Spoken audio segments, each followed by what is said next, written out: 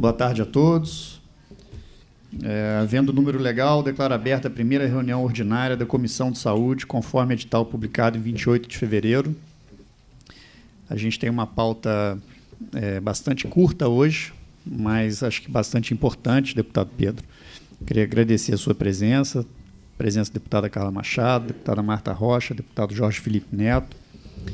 É, todos nós temos acompanhado, acompanhado nos últimos dias, nas últimas duas semanas, o caso é, da idosa que foi sequestrada pela família e, e internada em duas instituições de Petrópolis é, contra sua vontade.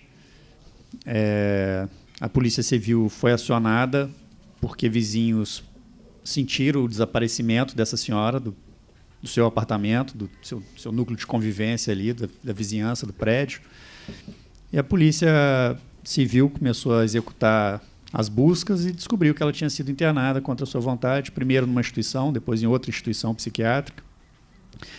E esse caso tem, tem chamado a atenção dos membros da comissão é, so, so, com relação a alguns aspectos importantes. A Lei de Assistência Psiquiátrica de 2001, ela, ela prevê três tipos de internação em instituição psiquiátrica. Né? Internação voluntária, né, que é quando o paciente se interna para buscar um tratamento.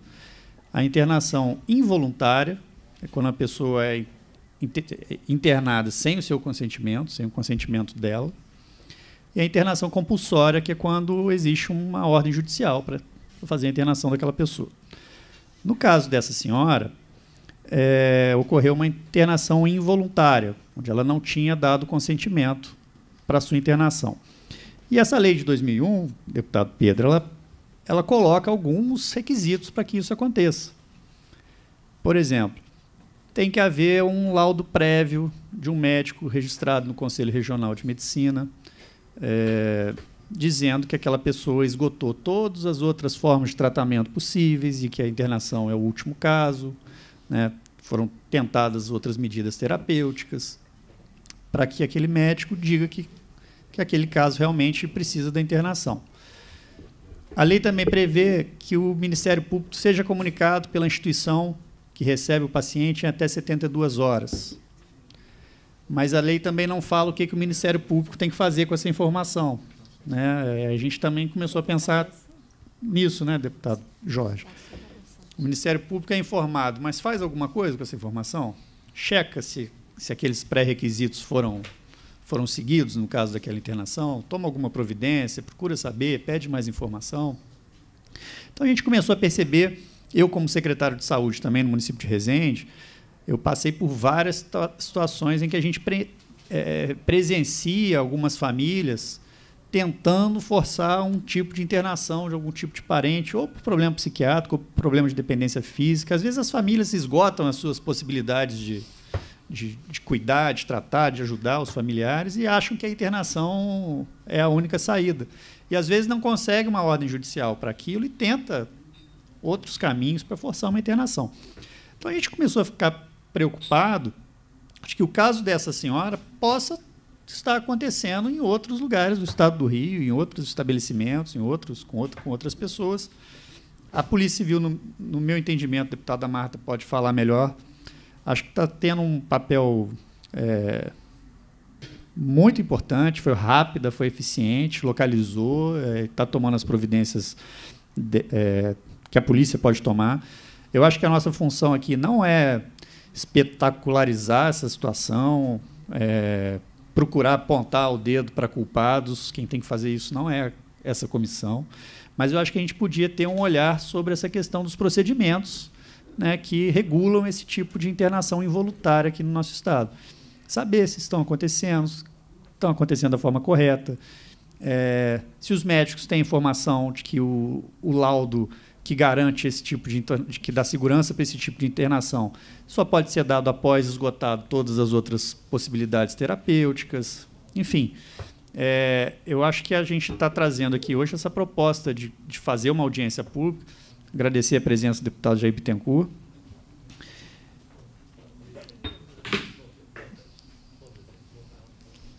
A gente está trazendo essa discussão é, sobre a possibilidade de uma audiência pública, deputado Jair, para analisar os procedimentos que devem ser seguidos nas, pelas instituições psiquiátricas é, durante as internações involuntárias de pacientes aqui no estado do Rio.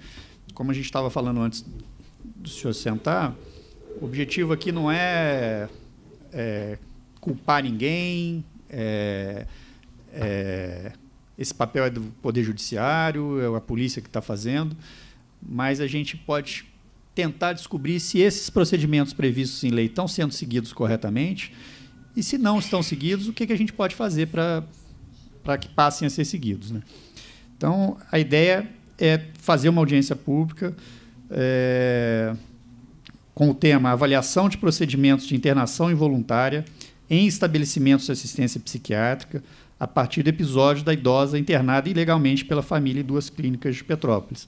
A gente já fala ilegalmente porque, pelos depoimentos que a gente tem visto, pelos. É, até a própria clínica, as, as, próprias clínicas, em alguns momentos, parecem é, sinalizar que possam ter faltado alguns procedimentos, é, às vezes até por dificuldade do sistema. Tem uma clínica que informa que tentou comunicar o MP, mas o sistema não aceitava, porque a outra clínica já tinha feito o comunicado. Enfim, tentar descobrir é, o que, que pode ter acontecido de falha para evitar que situações como essa possam ocorrer novamente. Então, coloco em discussão a proposta dessa audiência pública. Excelência, presidente, por favor. Deputado Jorge Felipe Neto.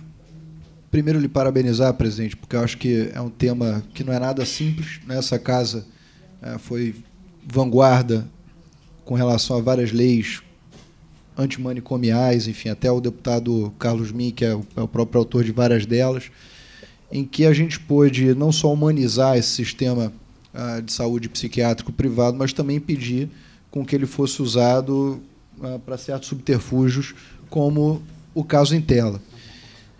Excelência, eu acho que a gente está depreendendo um caso onde houve uma burla ao que foi pensado pelo legislador. Né? A gente conversava anteriormente uh, sobre o caso e essa senhora me parece que foi internada em duas clínicas. A primeira, um casebre sem janela, algo de fato aprisionador e que deve ter sido de fato uma experiência muito angustiante para a senhora Maria Aparecida. E a gente tem que se compadecer, porque casos como esse não são, ah, enfim, de nenhum modo algo irrecorrente no estado do Rio de Janeiro.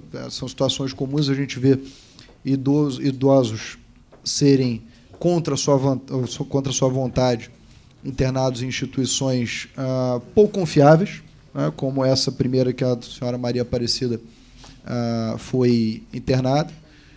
Uma junta médica fez a avaliação, essa primeira clínica informou ao Ministério Público e a segunda, que recebe a transferência da senhora Maria Aparecida, que é a Revitalis, que é uma clínica mais famosa, com mais estrutura, né? enfim, até onde eu pude saber, era basicamente é, uma instituição psiquiátrica, mas também com uma, com uma, uma superestrutura de, de, de, de bom tratamento, de boa qualidade, que foi interditada diante dessa notícia, e os 80 pacientes se ah, insurgiram contra o fechamento dela justamente pelo bom tratamento que, que recebiam. Então, ela não pôde comunicar ao Ministério Público, o que já poderia ocasionar, por exemplo, uma burla. Né? Se a primeira clínica que comunicou transfere para uma outra clínica, por exemplo, fundo de quintal, aquele paciente, à luz do controle do Ministério Público, sumiu. Porque o sistema não foi feito para unidade que recebeu a transferência ser é, comunicada. Ou seja, mesmo que ela quisesse, a Revitage não conseguiria fazer esse procedimento de comunicação ao Ministério Público, que por si só já é algo extremamente periclitante do ponto de vista uh, do controle previsto em lei, diante do que Vossa Excelência muito bem estudou com relação à internação involuntária. Cinco dias de, ela entra, muito provavelmente sob efeito de. Estou aqui loucubrando, mas sob efeito de, de medicação intensa dessa primeira clínica, fizeram uma avaliação. Cinco dias depois, reavaliam e descobrem que, de fato, ela não tinha nenhum, nenhum grande problema psiquiátrico que, que ensejasse esse tipo de internação. Então a gente está num caso que, no caso concreto, a gente tem que ter muito cuidado como é que a gente justamente não vai espetacularizar isso, para não causar nenhum tipo de uh, escola base 2, né, digamos uhum. assim, mas também reavaliar esses procedimentos é algo absolutamente necessário, até porque o próprio poder público tem que reavaliar algumas das suas uh, tradicionais posições, inclusive do próprio Ministério Público, que admite que as clínicas privadas sejam objeto de, de, de fiscalização das internações involuntárias e compulsórias, mas, ao mesmo tempo, dão parecer continuamente às, às instituições públicas contra as internações involuntárias e compulsórias, como, por exemplo, na situação de drogadícios. Né? Não é admissível a gente ver essa disparidade de passarem 3 milhões de pessoas na Avenida Brasil todo dia, né? jovens, adolescentes, grávidas, idosos, padecendo a, aos olhos de todos nós sobre as drogas ali, o Ministério Público simplesmente dá um parecer contrário a esse tipo de, de internação. E no privado, quando são comunicados, também não fazem a devida fiscalização, nenhum sistema adequado existe para que essa fiscalização seja feita. Então, parabenizando Vossa Excelência, eu dou meu voto favorável à realização dessa audiência pública. Acho que a gente podia, inclusive, é, chamar os envolvidos do, do, do, do, do caso em tela para prestarem né, documentalmente, enfim, é, as suas, suas seus respectivos esclarecimentos, mas mais do que isso, deles poderem de fato dizer, olha, a gente acha que o sistema está errado aqui, aqui, aqui, né, porque em todo lugar vai ter uma instituição séria, vai ter uma instituição ah, ruim que está sujeita a fazer esse tipo de golpe, como foi tentado pela família contra essa senhora Maria Aparecida. Obrigado, presidente. Obrigado, deputado Jorge. Deputada Marta. Bom, boa tarde a todas e todos. Cumprimentar aqui o nosso presidente, meu companheiro de partido, nosso vice-presidente, e na figura da deputada Carla Machado, cumprimentar todos os deputados participantes dessa reunião. Primeiro, presidente, elogiar a iniciativa de Vossa Excelência de convocar esta reunião para que a gente possa debater a oportunidade da realização dessa audiência pública. E, pelos argumentos já demonstrados, não há dúvida que é pertinente e oportuna a realização dessa audiência pública. Diante da sua manifestação no grupo da Comissão de Saúde, eu tive a oportunidade de buscar informações junto à Polícia Civil. Então, o que ocorreu é que o síndico do edifício onde a idosa residia. Esse ela morava na nona DP, vai à delegacia para fazer um registro de ocorrência relatando o desaparecimento da moradora e as informações que foram trazidas pelo porteiro. A partir daí, se verificou, é, na base de dados da Polícia Civil, que a filha da, da vítima tinha era figurava como autora de maus tratos dos seus próprios filhos e cuja notícia tinha sido dada pela idosa. E a partir de então, como já relatado aqui pelo presidente, se faz todas as diligências e se autua em flagrante a filha da idosa e o seu companheiro responsáveis pela internação involuntária, não só pelo sequestro, como também pela coação no curso do processo porque se, a autoridade policial vislumbrou que aquela ação toda tinha como objetivo impedir ou desqualificar aquele registro anterior de maus tratos que foi feito contra a filha da idosa na delegacia da criança vítima. Acho que dos pontos já abordados, tanto pelo presidente quanto pelo deputado Jorge Felipe, é, Obviamente, o papel dessa comissão é dar luz a esse problema e aperfeiçoar o protocolo que cuida desses assuntos. Né? Nós temos, inclusive, leis nessa casa do deputado Carlos Mink, do deputado Flávio Serafini, que tratam desse assunto. E a minha sugestão é que, nessa audiência pública, nós sejamos capazes de chamar o delegado de polícia, que vai esclarecer também a sua decisão da medida administrativa de interdição da clínica, não foi uma medida de uma autoridade é, da vigilância sanitária, por exemplo, né? A medida ali foi incentivo da preservação da integridade, pode ter sido uma, uma medida excessiva, provavelmente, se assim foi, os representantes da clínica estarão ingressando é, em juízo para é, questionar essa medida. A notícia que eu tive é que houve um aumento do prazo, o prazo inicial era de 72 horas para desocupar toda a clínica, e, a partir da intervenção é, das partes se houve uma, uma, um aumento desse prazo que eu não sei até que foi. Então, a minha sugestão é ouvir o delegado.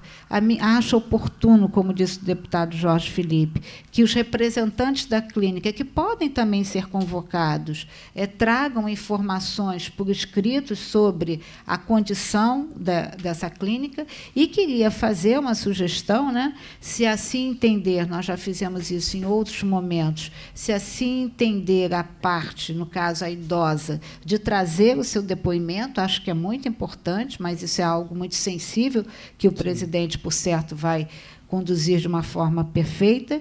Agora, eu queria sugerir que a gente trouxesse também uma representação da Câmara Técnica do Conselho do CREMERGE, que trate da questão exatamente da área né, da psiquiatria, ou que acho que me parece dessa Câmara Técnica, até porque já passei para o presidente, há uma resolução do Conselho Federal de Medicina que trata de todos esses protocolos, presidente. Eu falo presidente Jair Bittencourt, que ele também foi presidente da Comissão de Saúde. E então, na verdade, eu acho que conduzir isso, acho que será importante. E ao final, é, já encerrando, presidente Tante, acho que nós poderíamos, ao final daquilo que nos restou de observação, produzir em conjunto pela comissão, né, as alterações na ou trazer para a legislação estadual. Eu confesso que ainda não não me não estudei como deveria isso, vi aí uma legislação do deputado Carlos Mink, do deputado Flávio Serafini, mas que a gente produza né, um projeto de lei em conjunto desta comissão, como fruto dessa audiência pública, que eu tenho absoluta certeza que vai ser, como nós mulheres gostamos de dizer, uma audiência fértil e que vai trazer muitas observações interessantes, que vai, sem dúvida nenhuma, aprimorar né, esse protocolo de atendimento no caso das internações hospitalares. Muito obrigada. Agradeço, deputada Marta. Deputado Jair Bittencourt. É, boa tarde, meu presidente, deputado Tande. É uma honra ser presidido por Vossa Excelência nessa comissão. Minha deputada, minha amiga Carla Machado, Pedro Ricardo, nosso vice-presidente Vitor Júnior, minha querida amiga deputada Marta Rocha, Jorge Felipe Neto, meu amigo. É uma honra, primeiro, quero, eu não pude estar no, no dia da implantação da, da comissão, mas é sempre uma honra ser membro da Comissão de Saúde. Eu tive a honra de, quando assumi meu primeiro mandato nessa casa, já iniciar, com a ajuda do nosso ex-presidente Jorge Pisciani, com a confiança dele, presidindo uma comissão, no meu ver, a mais importante da Assembleia Legislativa do Estado. Então, quero te dar os parabéns, dar os parabéns a cada membro. A composição ainda tem também o deputado Eodalto e o deputado Valdeci da Saúde. Márcio Canela. É, deputado Márcio Canela. A comissão está muito bem composta e representada por uma diversidade de deputados, inclusive de regiões e de formação, conceito. E isso vai ser muito próspero, tá? tenho, tenho plena convicção que a Comissão de Saúde, na sua presidência, no seu comando, ela vai ser muito útil à nossa população, como foi no meu período, foi no período da deputada Marta Rocha, e tenho certeza que cada deputado e deputada que se dedicar a essa comissão como deve ser, vai cada dia mais se apaixonar pelo tema, porque aqui nós vamos ver situações como essas, como outras de pessoas que não são atendidas, como a vontade do Estado em atender e a ineficiência que nós temos, que é gritante, não é culpa de A ou de B, mas se tem um tema que aflige a todos, é a condição de atendimento da saúde, seja nos municípios, seja Aqui já tem prefeitos, prefeita, é, secretários de saúde. A gente sabe da nossa incapacidade de resolver o todo, mas também do nosso compromisso e obrigação de fazer o máximo. Né? Então, sobre essa audiência pública é de suma importância, parabéns pela, pela proposição. Acho que nós temos que fazer, como a deputada Marta Rocha colocou, é importante que a gente traga os atores externos para dar um calço técnico nos nossos posicionamentos. Nós vamos é, enfrentar muitas condições de dificuldade. Inclusive, eu lembro sobre esse tema, é, eu tive a honra de, junto com o deputado, ex-deputado Marcelo Fre é, Freixo, presidir uma das maiores audiências públicas que foi sobre o, os manicômios. Foram mais de 600 pessoas dentro, dentro do Palácio Tiradentes, inclusive uma audiência muito que ferveu, mas que acabou de uma vez por todas de tirar essa hipótese das pessoas serem internadas entre aspas como animais em manicômios, como já foram um dia, né? E a gente vê o absurdo de uma filha que ela tenha tido razão e motivo não existe, mas que que ela possa usar qualquer argumento que não justifica o que foi feito. Então, sem dúvida, cabe à comissão entrar, apurar, para que a gente, além do caso que já está em andamento, consiga fazer um trabalho dentro da Assembleia para que isso não aconteça, como foi colocado aqui pelo deputado Jorge Felipe Neto. Então, eu quero agradecer a oportunidade, parabéns, te saudar. Sabe que você pode contar comigo, a gente já tinha um entendimento anterior. E aproveitar para convidar os membros dessa comissão, já mandei para cada gabinete. A gente está reassumindo a presidência da Frente Parlamentar em defesa dos consórcios. E a maioria dos consórcios do Estado é de saúde. Então, eu convidei o Tande, que junto fosse o vice-presidente da, da frente, e já recebemos sinal de cinco deputados que queiram entregar à frente. Eu acho que é importante. Existem consórcios em todas as regiões, do noroeste ao sul do estado. O governo, nós temos uma lei aprovada que o estado, para poder ser mais ágil, vai poder aplicar. Já na área da saúde, nós já temos essa legislação, mas os consórcios são multifinalitários, podem atuar em várias frentes. Mas a da saúde é a principal. É uma forma de a gente corrigir distorções, aplicar melhor o recurso. Hoje nós temos oito consórcios ativos, um outro entrando em atividade, são nove e acho que vale a pena, é, vale a pena contribuir com a frente, os deputados e deputadas que quiserem, é uma honra para a gente poder estarmos juntos e nós vamos, já, já mandamos o pedido da publicação para a mesa diretora, para o presidente Rodrigo Bacelar, e deve sair em breve. Mas os deputados e deputadas querendo podem aderir à frente a qualquer momento. E nós vamos, para poder conseguir fazer um bom trabalho, Carlos, precisar dos deputados regionalmente, porque a gente não consegue tocar por mais que, que esforce, é, é trabalhoso. A frente trabalha direto.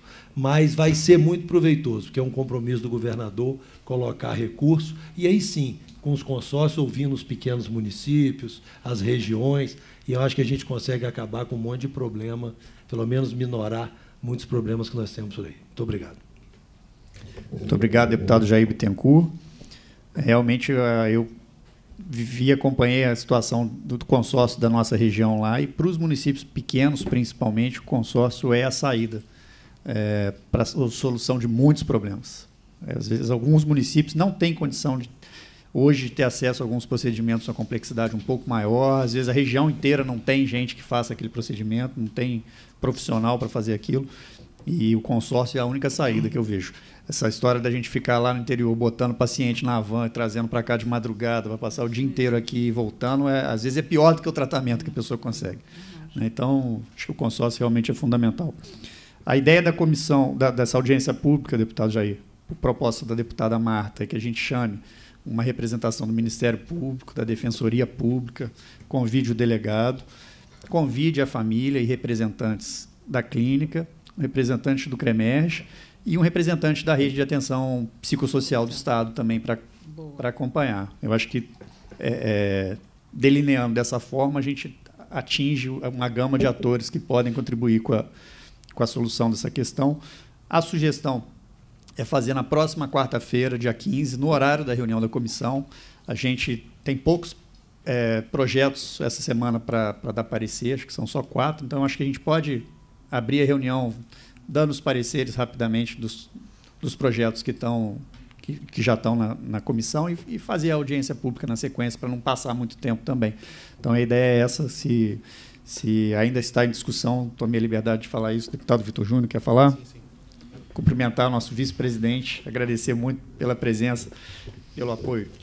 É, boa tarde a todos e todas. Uma saudação especial ao nosso presidente, deputado Tandy Vieira, a minha liderança de bancada, deputada Marta Rocha, deputado Jair Bittencourt, deputado Jorge Felipe Neto, deputado Carlos Machado, deputado doutor Ricardo, Pedro Ricardo, e saudar a iniciativa da comissão, que, de forma muito rápida e eficiente, é, traz para essa primeira reunião essa pauta importante dessa internação compulsória de forma arbitrária, de forma é, incoerente e que causa chocou toda a sociedade do Estado do Rio de Janeiro, uma filha com seu marido com o objetivo de, de usurpar da mãe é, o, é, o seu direito de vida e mais do que isso usurpar, usurpar da mãe o seu direito de tratamento adequado, de ação eficiente por parte da família, é, chocou muito a sociedade ao longo dessa última semana e cabe a essa comissão acompanhar, através dessa audiência pública, todas as etapas que levaram a essa internação compulsória. E aí eu queria me somar às sugestões da deputada Marta e do presidente. Para além disso, acho que a gente tem que trazer o município eu acho que cabe trazer a Secretaria de Saúde no município de Petrópolis, que foi onde ocorreu o caso, e com isso também a gente pode estabelecer um protocolo com os municípios de todo o estado, porque querendo ou não existem municípios que têm ação direta nessa questão relacionada à fiscalização desses espaços, então cabe trazer a Secretaria de Saúde no município de Petrópolis, tentar entender de que forma que ela participa dessa fiscalização e também da Superintendência de Saúde Mental do Estado, que tem ação direta nessa, nessa ação. Mas eu queria deixar como sugestão também, presidente, é, porque assim a gente, tá, a gente conseguiu identificar essa situação no caso da internação. Óbvio que essa senhora vinha sofrendo de alguma forma maus tratos por parte da família e a gente precisa tentar entender se existem mecanismos legais hoje existentes para que seja comunicado aos órgãos competentes é, esse maltrato. Por exemplo, o porteiro de todas as edificações hoje é, que existem, ele, eles são, querendo ou não, um filtro de tudo que acontece na rotina é, de cada família. Na verdade, é, tem muitos porteiros até que vão além da função dele existente e tentam ali acompanhar a rotina das famílias. Eles participam desse dia a dia. Então, será que existe um disque saúde, um, um disque denúncia em relação a essa situação de, mal, de, de maus tratos?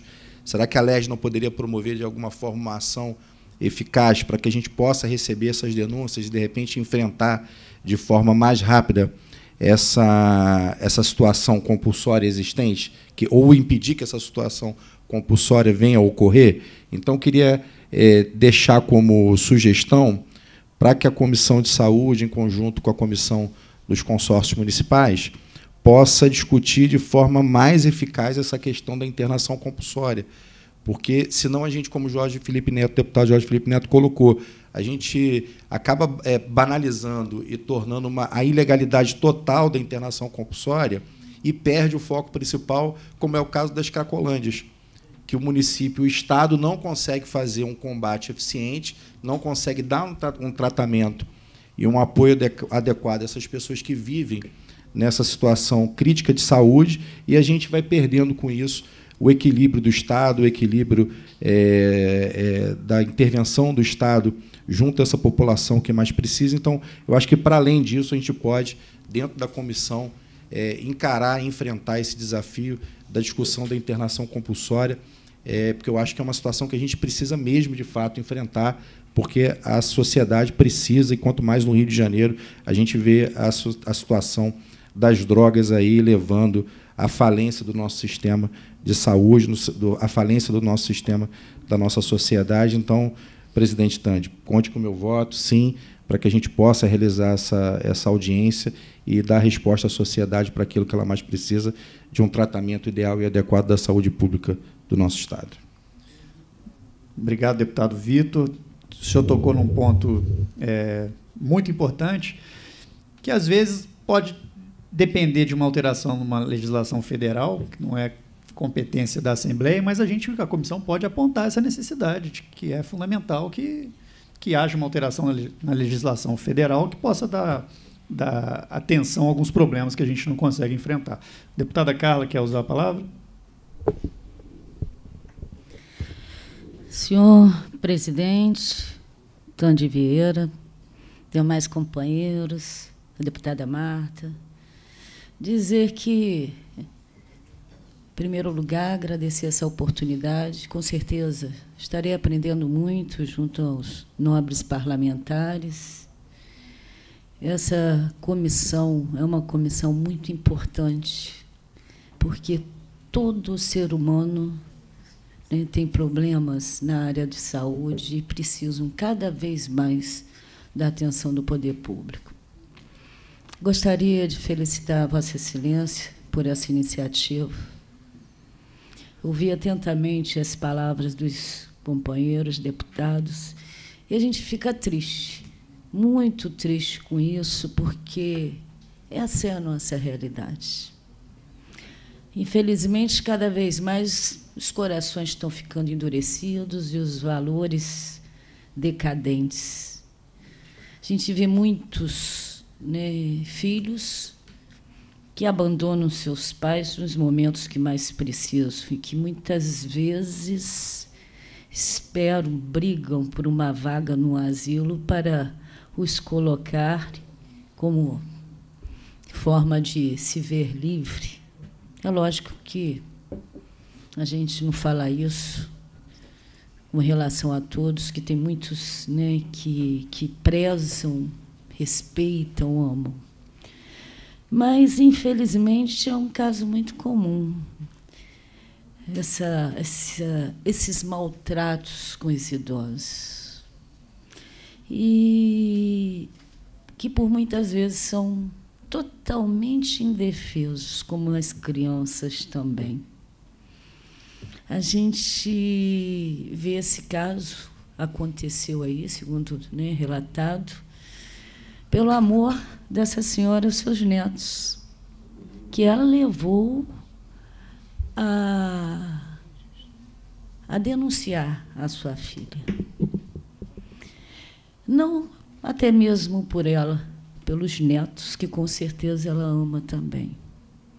A gente vê, a gente que vem de município, que onde a gente foi prefeito, a gente vê a quantidade de pessoas que às vezes solicitam home care, cuidadores, mesmo com condição por, por terem perdido esse amor e essa, essa questão de retribuir né, no momento que mais precisa. Eu acho que o senhor aí né, é, vai aglutinar vários setores para importantes para essa esse encontro, para essa reunião. Eu sugeriria, senhor presidente, que também mandasse convidar a Comissão de Direitos da Criança, do Adolescente e do Idoso, porque eu acho que parte também para a gente repensar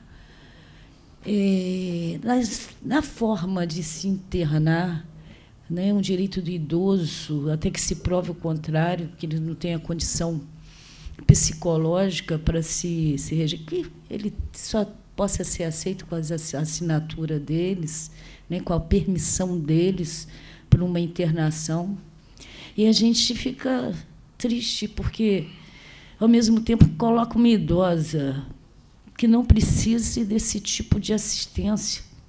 A gente vê aí cada vez mais os problemas de ordem emocional, psicológica aumentando e que a grande parte das pessoas não, não tem um atendimento devido. Então, eu sugiro a convocação também para participar em conjunto, para que a gente possa, de fato, né, ver normas, pensar em normas, em uma legislação que ampare melhor. Inclusive, nesse caso aí foi idosos, né? A deputada Marta, com essa vasta experiência que ela tem na questão da, da Polícia Civil, Eu passei um caso, deputada, por um caso em um município onde uma criança havia sido violentada. Ela ficou internada e a gente descobriu o autor porque o cara que havia violentado a criança foi até o hospital, tipo, para ameaçar essa criança. E aí, essa criança, de acordo com a justiça, tinha que voltar para sua casa para conviver com uma mãe com problemas psiquiátricos e com esse marido da sua avó que a violentava diariamente. Eu fiquei até muito revoltada na ocasião. E Deus é tão bom que eu acionei né, os amigos e descobriram que esse senhor ele estava foragido. Foi onde a gente conseguiu que prendesse, o prendesse, para que livrasse essa criança dessa situação. E o mesmo se aplica a idosos. Muitos idosos indefesos. E o amor incondicional. Porque o amor de mãe é assim. Né? Então a gente precisa realmente se ater a essa situação e, e até a gente buscar aí nos aprofundar mais para a proteção desses que são totalmente indefesos e que precisam da atenção do poder público. Obrigada. Muito obrigado, deputada Carla Machado. Excelente sugestão, vamos adotar com certeza. Alguém quer colocar mais alguma coisa?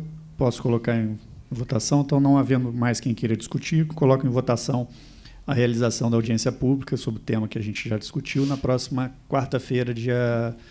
Na próxima, não, na outra quarta-feira, dia 15, às 12h30. Aprovado.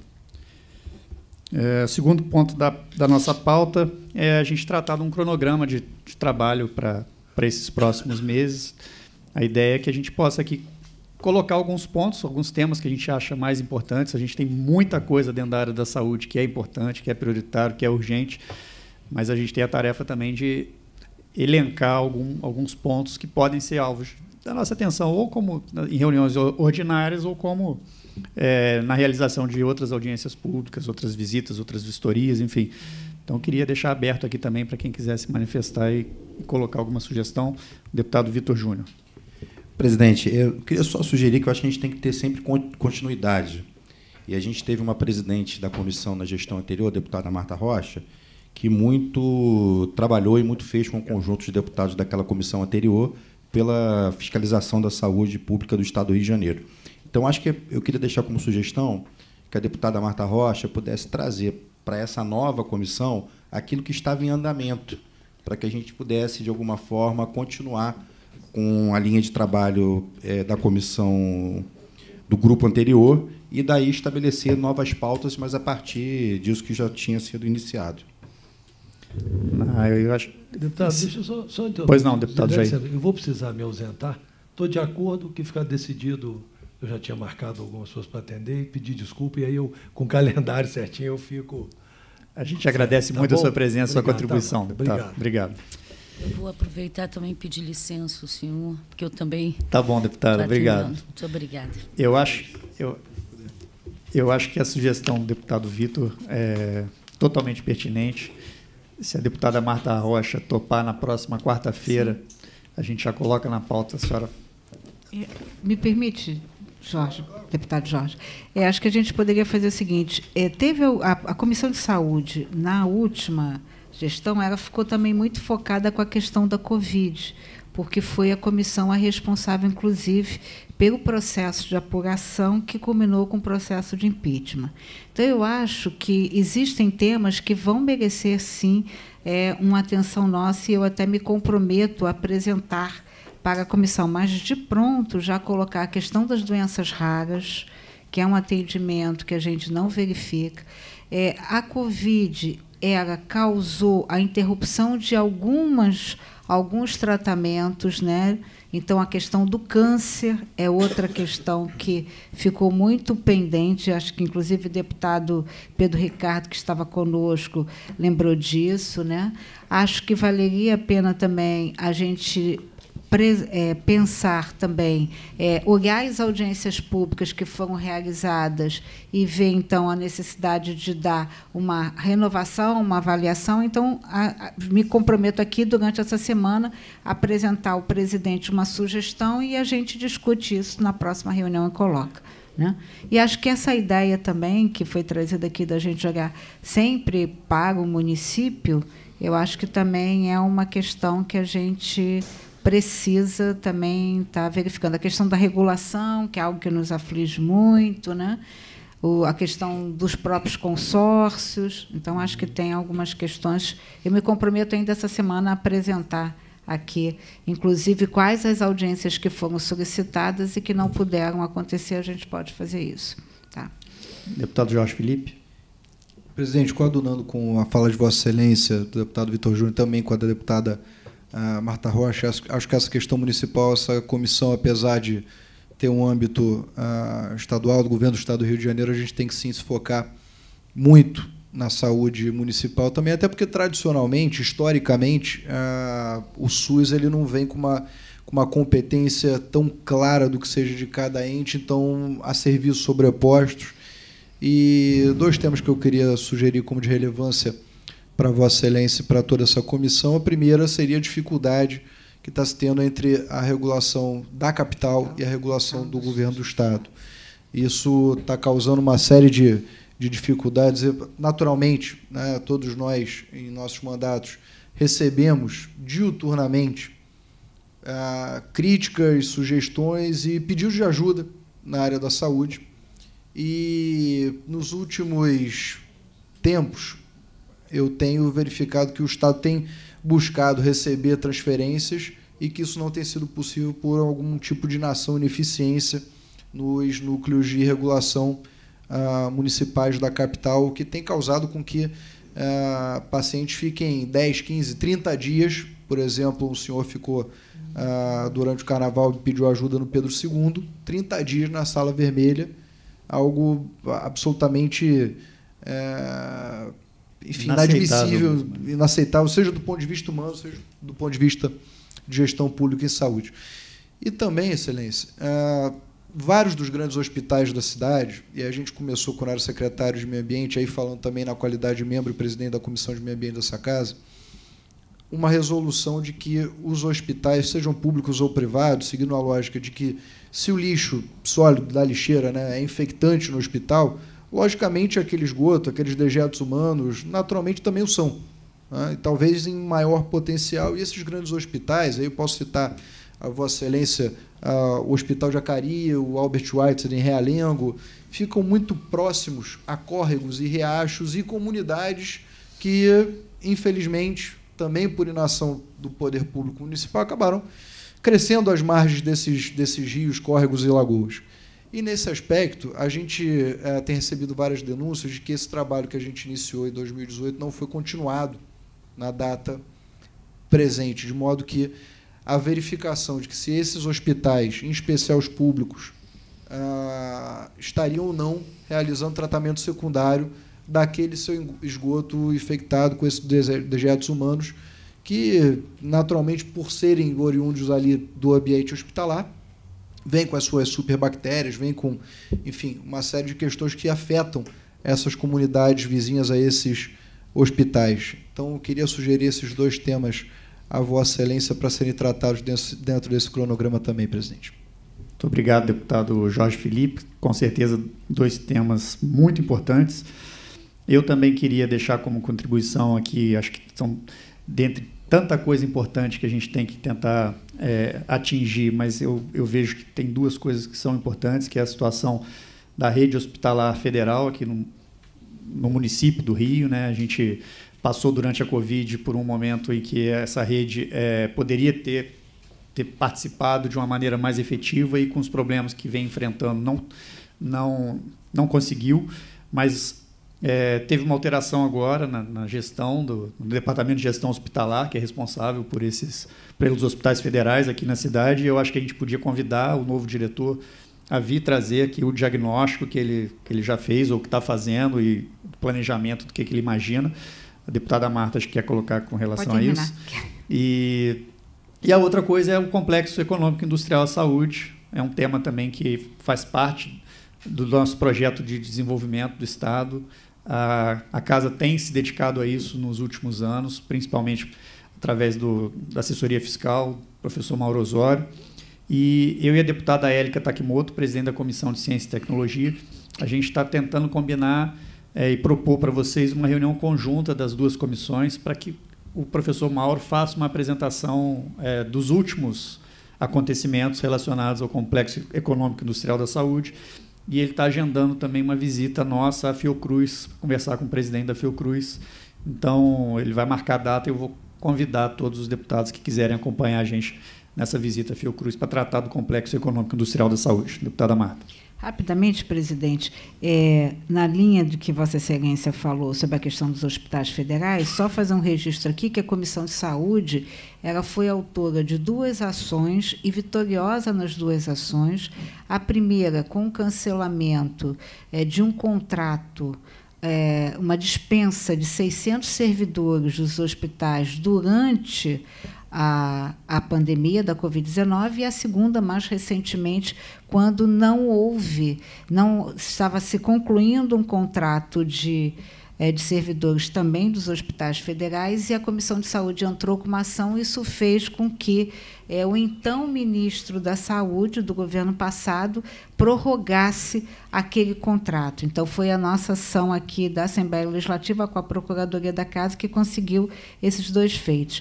E hoje ocupa essa superintendência dos hospitais federais o ex-presidente do Sindicato dos Médicos, que é o doutor Alexandre Teles, né? Que sempre esteve com essa comissão, participou ativamente das questões, porque a comissão participou também na, com a contribuição da deputada enfermeira Rejane na questão do PCCS, que é o, é o Plano de Cargos e Salários da área da saúde. Então, ele é uma pessoa próxima a essa Casa Legislativa e eu tenho certeza que ele vai ter o imenso prazer de vir aqui ou de nós fazermos uma visita para colocar aí a sua opinião sobre a questão dos sete hospitais federais que representam o deputado Vitor Júnior.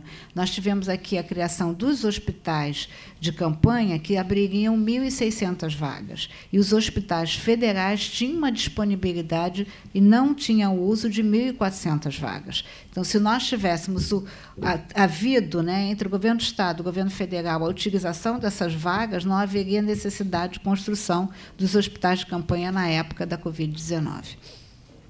Presidente Tante, permite? Pois não. Só para acrescentar também, eu acho que eh, os temas aqui colocados por todos, para que a gente possa eh, conseguir organizar o trabalho da comissão nesse próximo período, estão muito claros, muito, muito transparentes nas ações que a comissão deve ter.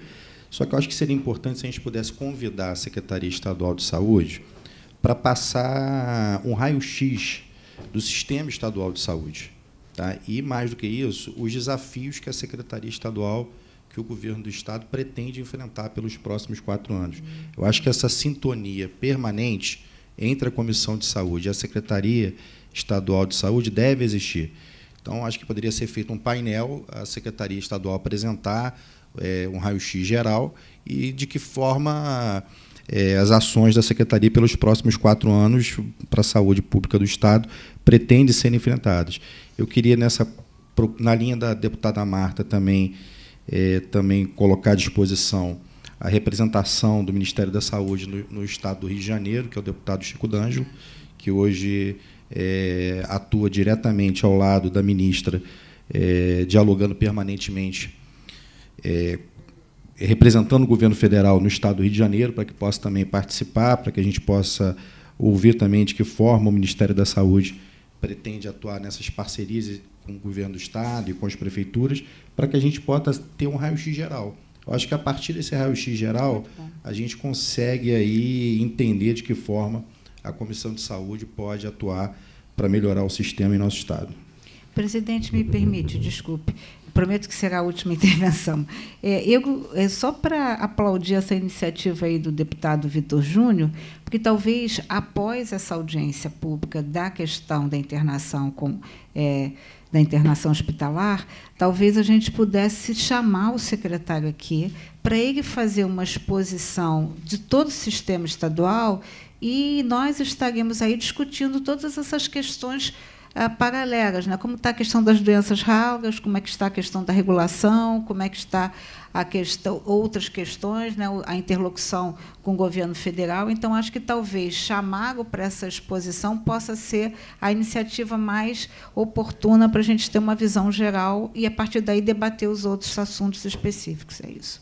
Eu acho que a, que a sugestão é, é muito boa. Tenho certeza que tanto o, o secretário doutor Luizinho como o Dr. Chico D'Angelo, ambos parlamentares, ambos atuaram na Comissão de Seguridade Social da Câmara dos Deputados. Né? Eu acho que eles têm a noção exata da, da contribuição que a nossa comissão pode dar é, para a saúde nos próximos, nos próximos anos e, e, tenho certeza que terão o maior prazer de vir aqui. É, então, só para a gente é, é, fechar aqui no final, ficou combinado na próxima quarta-feira a gente vota os pareceres que já estiverem aptos à, votação do, do, com os deputados. E, e, a deputada Marta faz uma apresentação do, dos últimos anos da comissão e do que, que ela entende que é pertinente para frente, para os próximos meses, e aí a gente discute os próximos passos na quarta que vem. E fica para dia 15, às 12h30, aí com duas semanas para a gente ter tempo de convidar todo mundo e todo mundo se organizar e também para mostrar que a gente não está preocupado em, em, em, aparecer na mídia com essa, com essa questão, né? senão já fazia para tentava fazer essa semana para aparecer no, no auge do, do problema, mas o objetivo de todo mundo aqui não é esse, é realmente tentar entender como pode melhorar esse, esse processo. A gente faz, então, audiência pública sobre a questão das internações involuntárias no dia 15, quarta-feira, às 12h30. Agradeço a presença de todos. Alguém quer fazer mais alguma consideração? Então, agradeço muito a deputada Carla Machado, deputado Jair Bittencourt, deputada Marta Rocha, deputado Jorge Felipe Neto, deputado Vitor Júnior, deputado Pedro Ricardo pela presença. Agradeço a presença de todos. Uma boa tarde.